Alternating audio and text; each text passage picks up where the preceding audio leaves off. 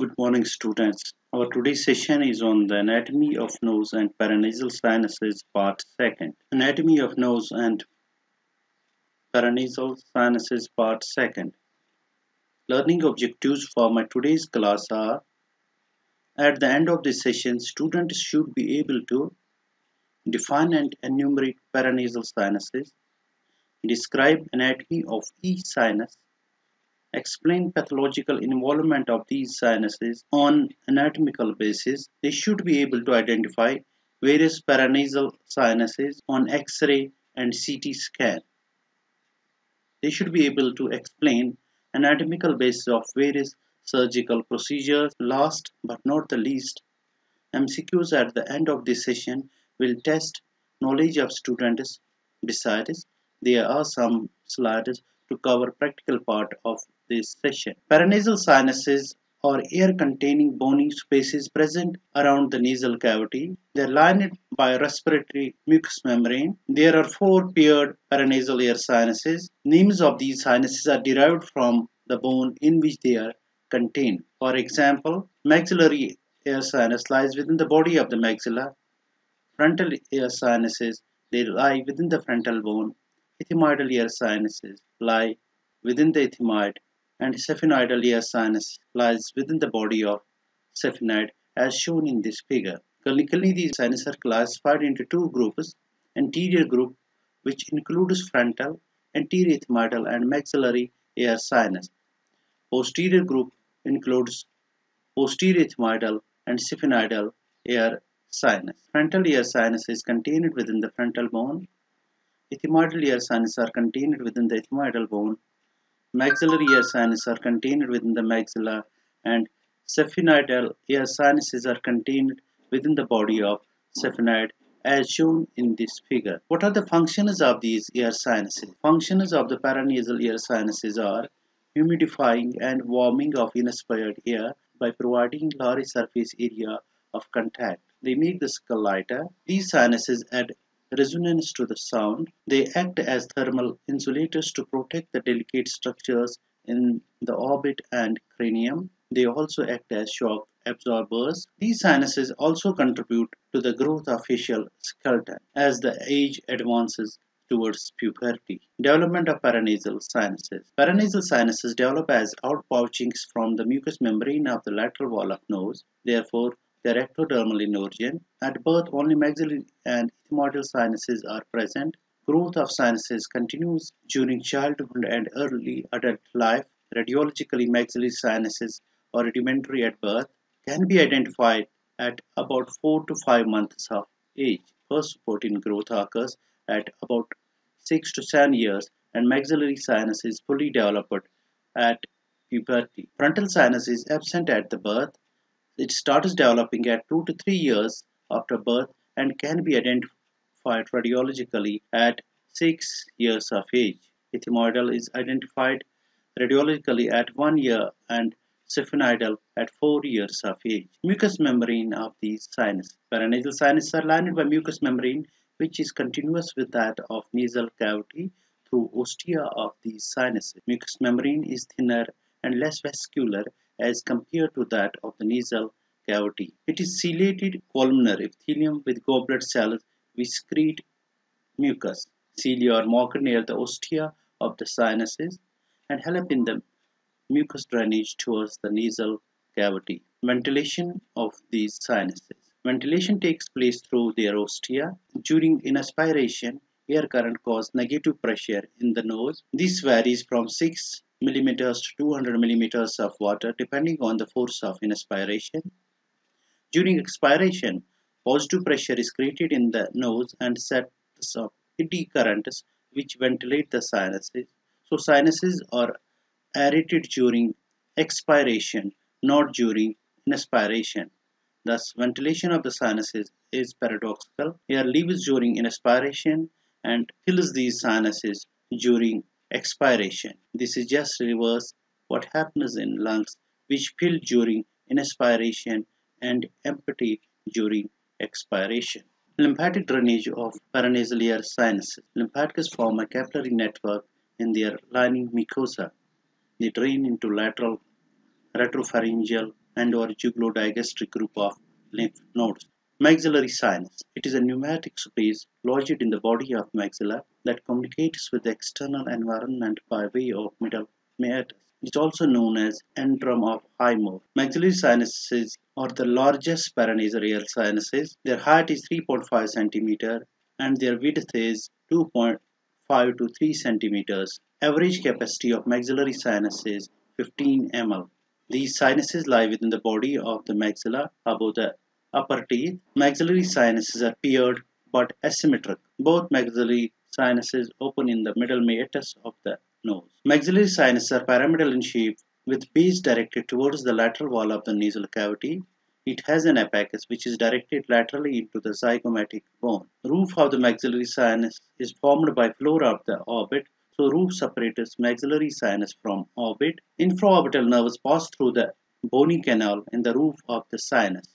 As shown in this figure, infraorbital nerve passes through the roof of maxillary sinus, which forms the floor of orbit. Floor of the maxillary sinus is formed by the alveolar and palatine process of maxilla. It is located 1 cm below the floor of the nasal cavity. Ostium of the maxillary sinus is high up in its medial wall and opens into middle meatus. As already said, accessory ostium is present in 30% of individuals and is situated posterior to the main opening. Maxillary sinus is known for its non-dependent drainage, as the opening lies at a higher level than the floor of the maxillary sinus. This leads to stagnation of the mucus and other secretions, loss of cilia, stasis, and infection. And the infection of the maxillary sinus is called maxillary sinusitis. In fact, maxillary sinus is the commonest sinus involved in sinusitis. Roots of upper molar and premolar almost project into the floor of the maxillary sinus, so extraction may lead to a communication between maxillary sinus and oral cavity. For the same reason, infection from the caries teeth is the common cause of maxillary sinusitis. Base of the maxillary sinus is formed by the lateral wall of nasal cavity. The superior part of the base presents opening of the sinus into hiatus semilunaris of the middle meatus. As already said, maxillary sinus has got non-dependent drainage. Accumulation of the secretions leads to stasis of this fluid, which in turn leads to infection and sinusitis. A surgical procedure called antral puncture is done to take out the secretions from maxillary sinus. Arterial supply of the maxillary sinus. It is supplied by the greater palatine arteries, infraorbital artery and also by the facial artery. Innervation of the sinus. The sinus is innervated by the infraorbital nerve which lies in the roof of the sinus and leaves through the infraorbital foramen. It is also supplied by anterior superior alveolar nerve which runs in the canal in its anterior wall. The posterior wall is penetrated by posterior superior alveolar nerve. The pain due to maxillary sinusitis is referred to the upper teeth and face. The same nerve supplies the mucous membrane of the sinus. As shown in this diagram, it is supplied by the infraorbital nerve, anterior superior alveolar nerve, and also by the posterior superior alveolar nerves. Now the question is why maxillary sinus is commonest sinus involved in sinusitis. As already said, the sinus has got non-dependent drainage. Floor of the sinus, that means floor of the sinus lies at a lower level than it is ostium or opening. This leads to stasis, which leads to loss of cilia due to infection. Inflammation of mucosa is called sinusitis. Let us go to a CT scan of this sinus. As shown in this figure, let us read a CT scan of this sinus. MS represents the right maxillary sinus. CT scan of the maxillary sinus. On the right side, this arrow shows normal maxillary sinus which appears translucent, while as the left maxillary sinus appears opaque. Opacity means there is some pathology in the left maxillary sinus. This pathology may be due to infection and edema which appears as an opacity on the while doing CT of this sinus. So N represents the normal sinus while O represents opacity. As already said, opacity can be due to infection or edema. Now, what is intranasal antrostomy? Intranasal antrostomy, it is a surgical procedure in this procedure, an opening is made in the lateral wall of the nose below the inferior meatus close to the floor of the maxillary sinus. Hence, it facilitates drainage of this sinus whenever its natural opening is blocked. This procedure may injure the nasolacrimal duct. As shown in this figure, These red dotted areas represent the collection of infected fluid within the maxillary sinus. We pass a cannula below the inferior turbinate through the lateral wall of the nose, which forms the medial wall of the sinus to drain out the fluid as shown in this animation. I repeat, so these red lines represent the infected fluid inside the medullary sinus, which is locked there due to the obstruction of its natural ostium. We pass a cannula deep to the inferior turbinate through the lateral wall of the nose to enter the maxillary sinus to drain out the secretion. This procedure is called intranasal frostum. Frontal sinus, as already said, it lies in the frontal bone. It is situated between the inner and outer tables of the frontal bone above and deep to the supraorbital margin. Right and left sinuses are asymmetrical because the septum between the two is obliquely placed. In fact, none of the paranasal sinuses are symmetrical. As the septum between them is obliquely placed, so the two sinuses are not mirror image of each other. They are not of equal size. Frontal sinus opens into the middle meatus of the nose. The relations of the frontal sinus are Anterior wall is related to the skin of the forehead. Posterior wall is related to the meninges and frontal lobe of the brain. Inferior wall is related to the roof of orbit and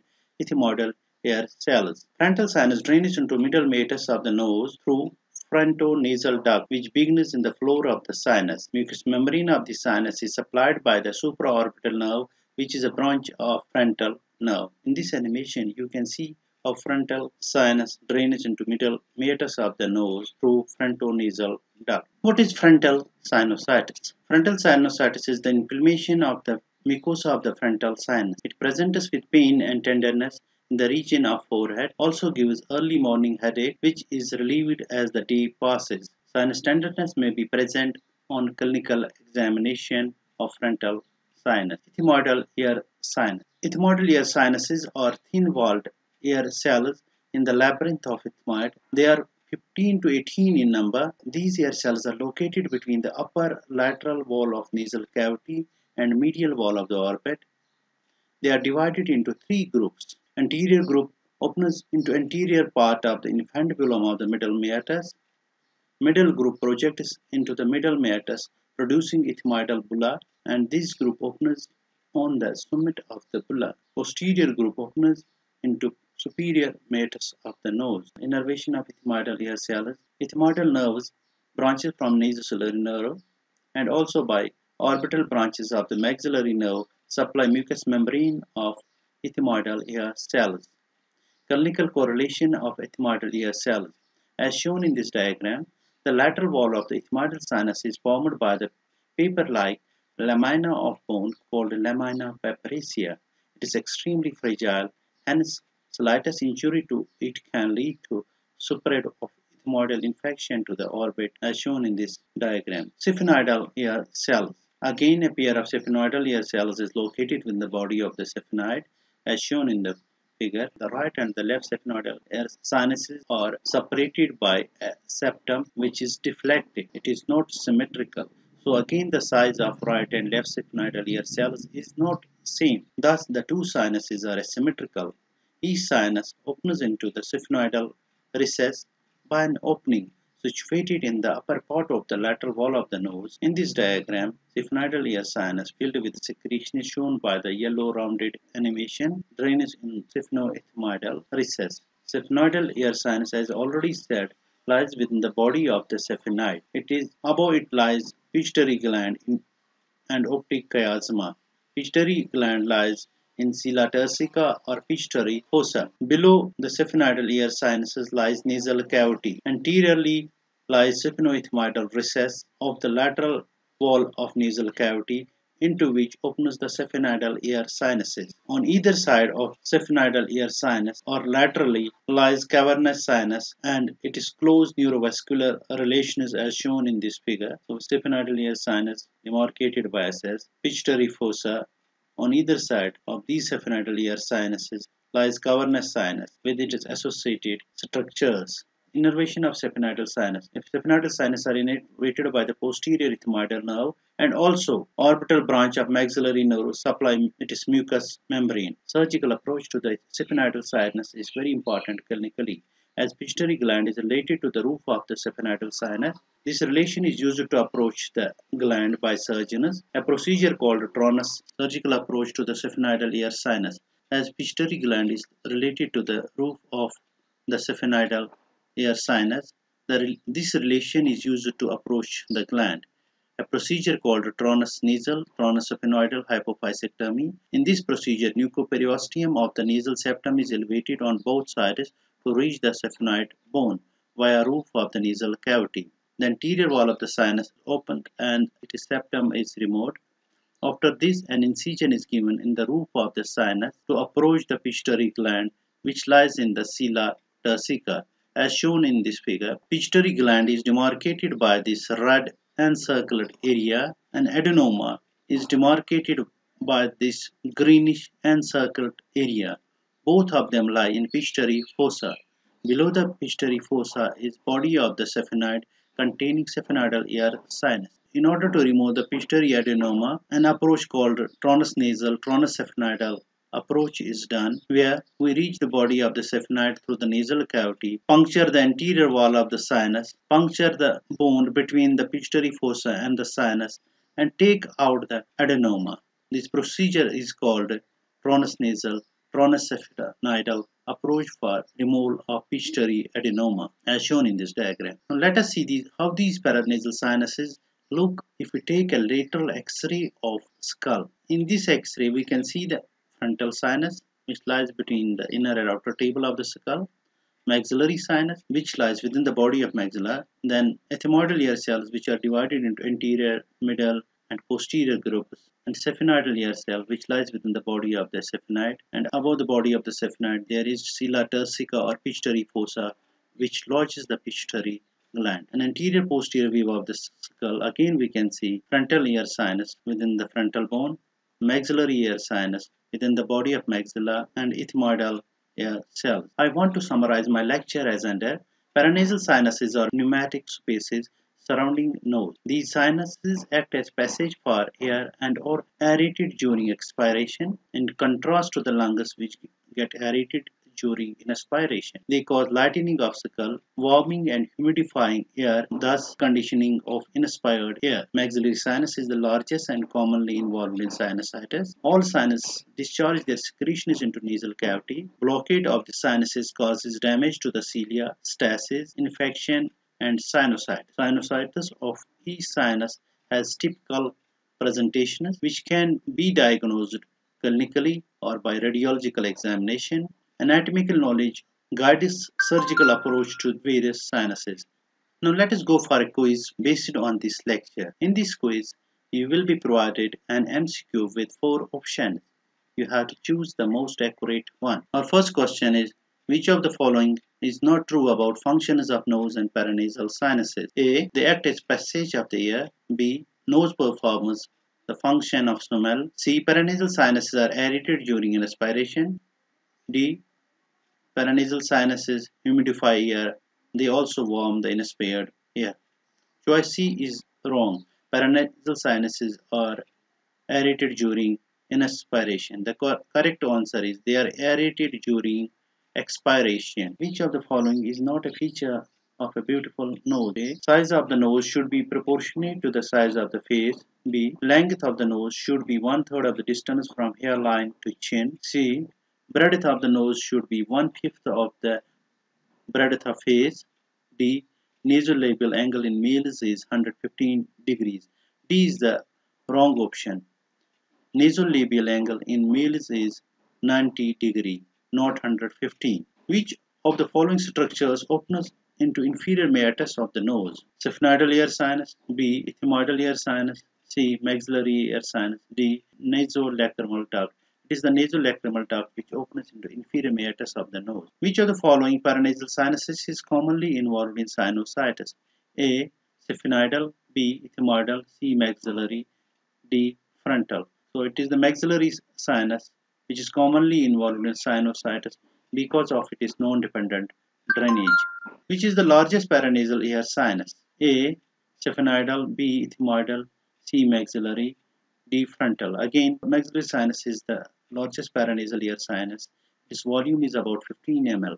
Our next question is the number of ethmoidal air cells is 5 to 10, B is 8 to 12, C is 10 to 14, D is 15 to 18.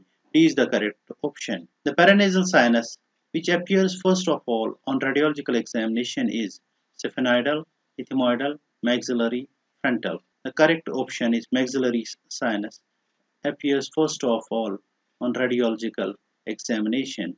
Early morning frontal headache is seen in sinusitis of which sinus? Maxillary, B frontal, C ethmoidal, D sphenoidal. The correct answer is frontal. Which of the following vessel is called coronary artery of the nose? A. Septal branch of the superior labial. B. Anterior ethmoidal artery. C. Posterior ethmoidal artery. D. Greater palatine artery. The correct option is A.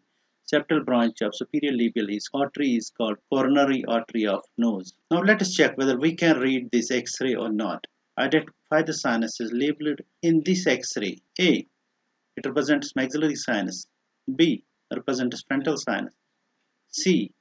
Represents ethmoidal air cells. C. Represents ethmoidal air cells. D. Represents, represents sphenoidal air sinus. E represents sella turcica which lodges the pituitary gland. It is also called the pituitary fossa. Our next question is identify the structures labeled as A. A represents maxillary sinus. B. B represents frontal sinus. C represents orbit. D. D represents right nasal cavity. This is basically an anterior posterior x-ray of the skull and the previous one was lateral X-ray of the skull. Let us go to this clinical problem. A patient presents with early morning frontal headache. Which sinus is involved? Maxillary, frontal, ethmoidal, sphenoidal. The correct answer is frontal air sinus. Identify various labeled structures in this wet specimen. A.